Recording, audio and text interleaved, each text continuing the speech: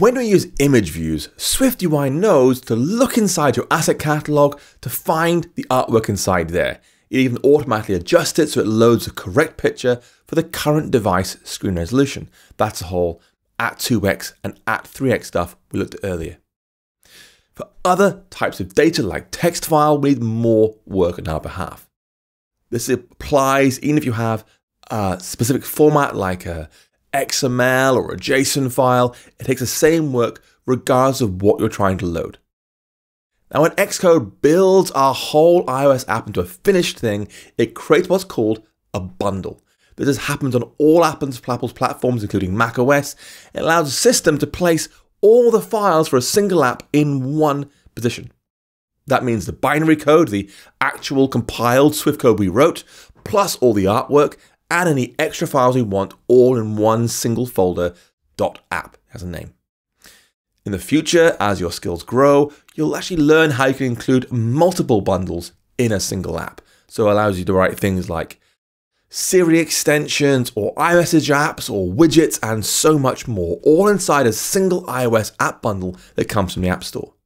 Now, although these all get included in our App Store download, that single bundle, these other bundles are actually stored separately from our main app bundle, which is the main iOS app and its resources, just put together in one big directory.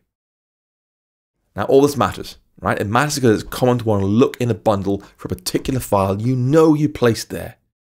This uses a data type called URL, which stores exactly what you might expect. It might store www.hackingwithswift.com, for example, a web URL. However, URLs are much more powerful than just storing web addresses. They also store the locations of files, for example, which is why they're useful here.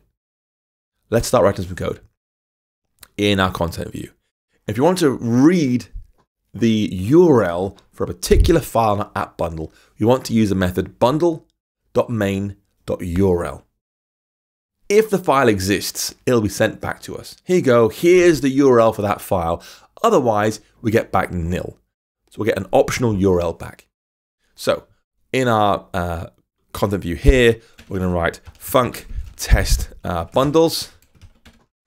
And then we'll say if let file URL is bundle.main.url for resource with extension. That one there. So we're looking for, I'll just use some file, for example, extension txt. So try and find some file txt, some file .txt in our app bundle. And if that succeeds, then we found the file in our bundle. Now, really, what's inside this URL does not matter. iOS uses paths that are impossible to guess. Our app lives in its own self contained sandbox. Don't try and read files out of it. That's your little bit of work there. Once we have this URL though, we can load it into a string by using a special initializer, string contents of. We give this thing any file URL and it'll send back a string containing the contents of that file if it can be loaded. If it can't be loaded, it will throw an error.